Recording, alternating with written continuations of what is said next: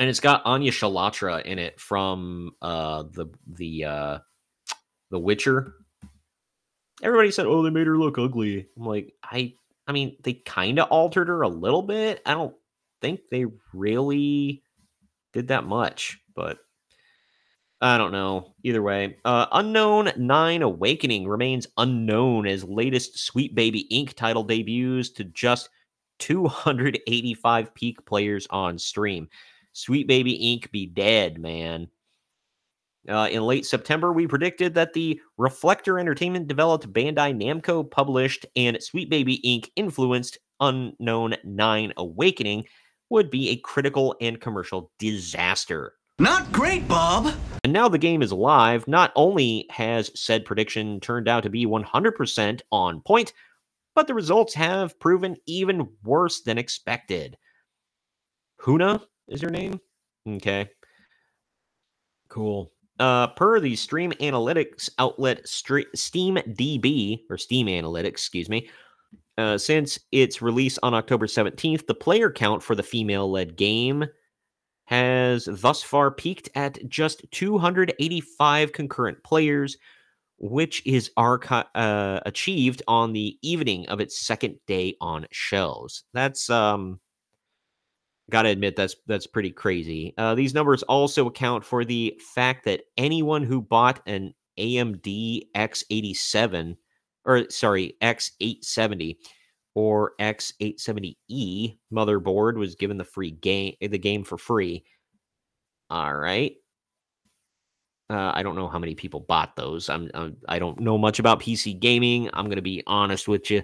Uh, for those unaware of just what Unknown Nine Awakening is, per the game's description, the action adventure title places players in the shoes of uh, Haruna, a cast castor born with the ability to venture into a mysterious dimension that overlaps our own, uh, known only as the Fold. Right.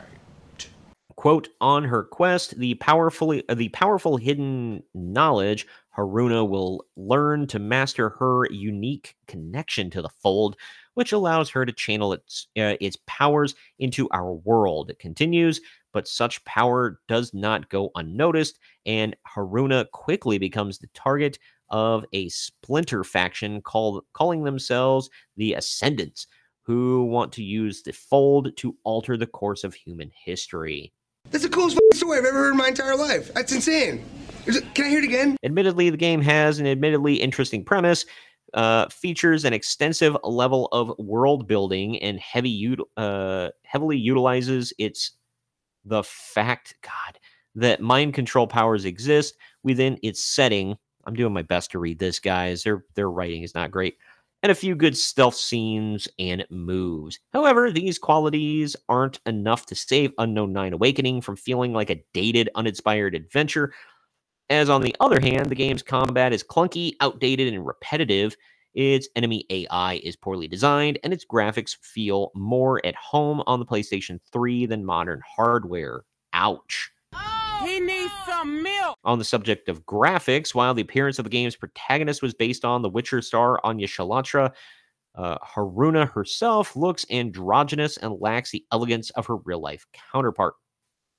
Do they just mean like clothes? Because, like, face wise, I think she looks like her. I don't know. Combine all of the this numerous player reports uh, frequent frame rate dips and immersion breaking bugs. And simply put, there just isn't enough good to outweigh the bad here. To add insult to injury, Bandai Namco slapped the game with a $50 price, in doing so, driving away a large swath of potential players who felt that the price was, to say the least, unjustified. Yeah.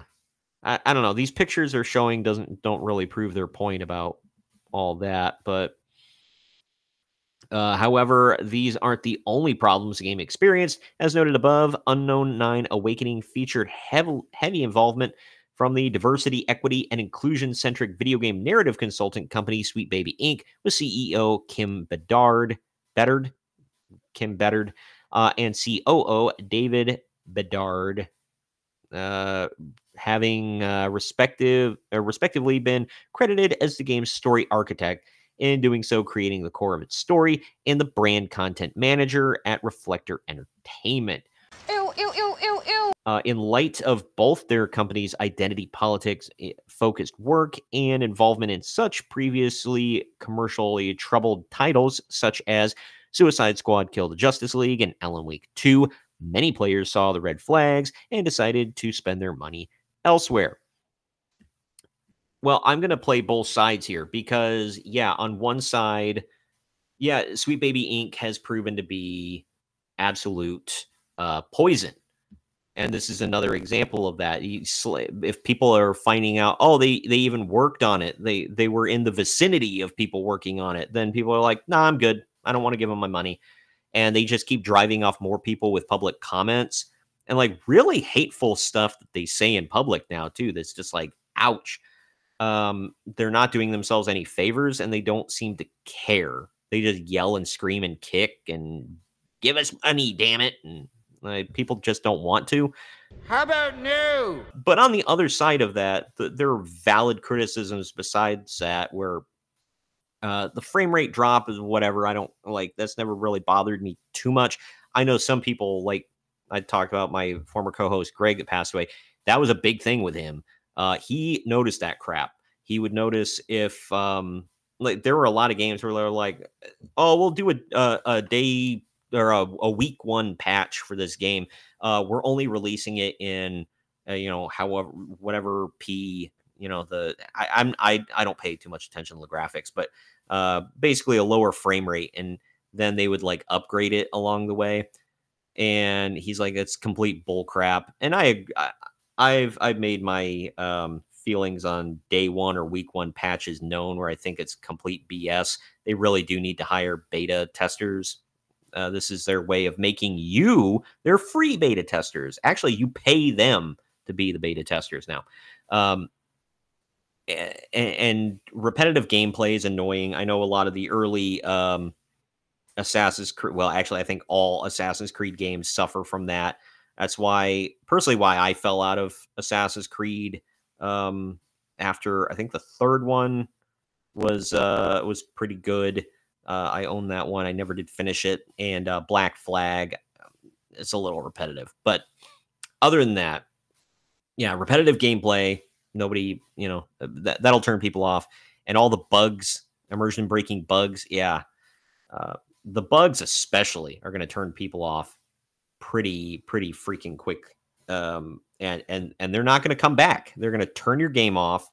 Uh, they might ask for a refund, and then they'll never be back.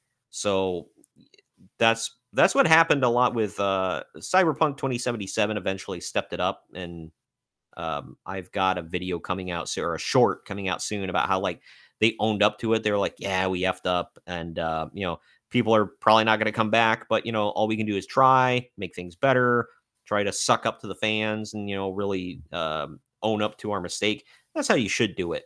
But I don't know. The, this this is not a known property, whereas Cyberpunk kind of was, and CD Projekt Red had the benefit of the doubt.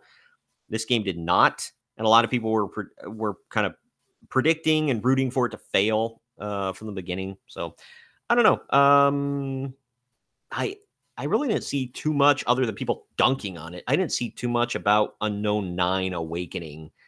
Um, the o- the only thing I I've ever seen about this game was just negative stories and uh, negative posts on on social media. Uh, not good, believe me, not good. Am I the only one that just didn't see anything positive about this game?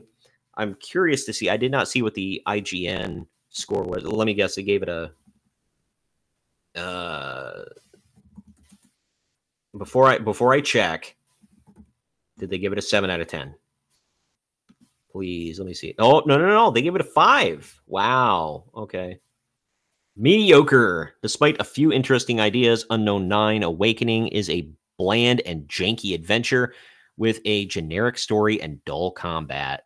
Wow. Do you know how bad you have to suck to get less than a seven from IGN. It's that's honestly crazy. That that's that's become the meme. Oh, seven out of ten. IGN. No! It's just dumb.